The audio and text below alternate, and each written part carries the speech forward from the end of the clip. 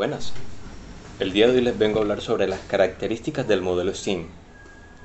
Um, el modelo STEAM, como lo dicen sus siglas en inglés, ciencia, tecnología, ingeniería y matemáticas, se puede trabajar de manera entrelazada con las áreas y asignaturas.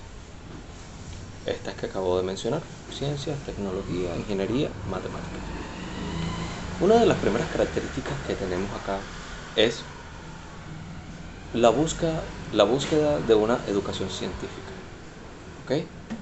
¿Por qué una educación científica? Bueno, si nos damos cuenta, esta parte de la ingeniería, de la matemática, de la tecnología y de las ciencias, todas se entrelazan, todas tienen algo que ver.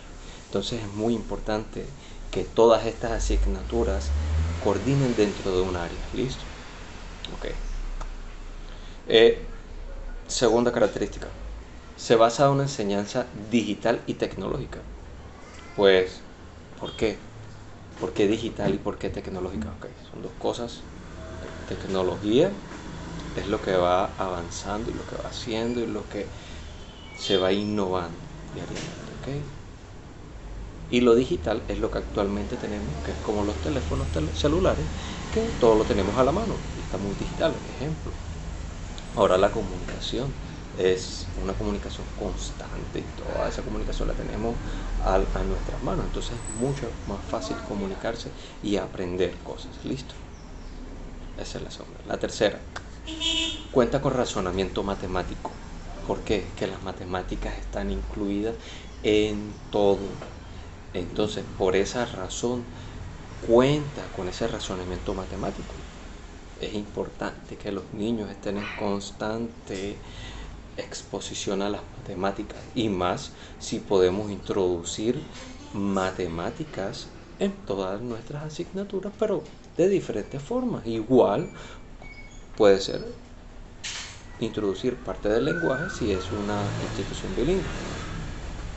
Es interdisciplinar. ¿Por qué interdisciplinar? Obviamente nos incluimos y nos metemos en varias disciplinas.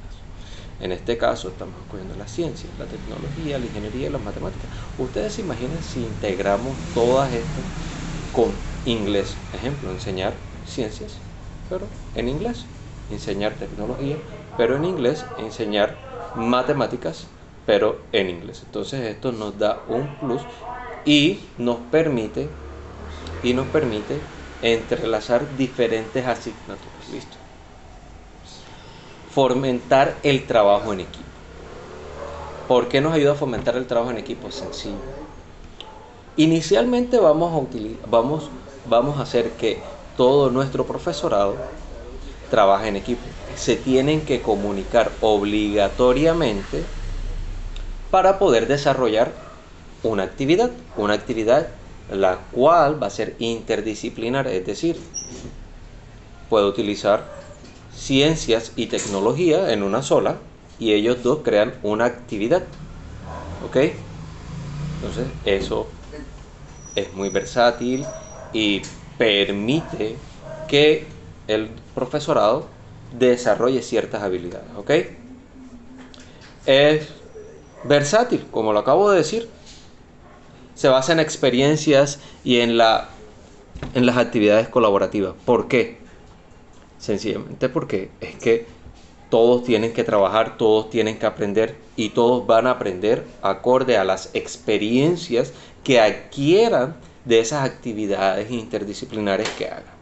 ¿Ok? También impulsa la creatividad, tanto del profesorado como del estudiantado. Sencillo, porque es que para poder crear una actividad interdisciplinar, tú necesitas crear, adecuar e innovar en una actividad para poder integrar todas esas asignaturas y todas esas actividades. ¿Ok? Entonces, queda atento. Bye.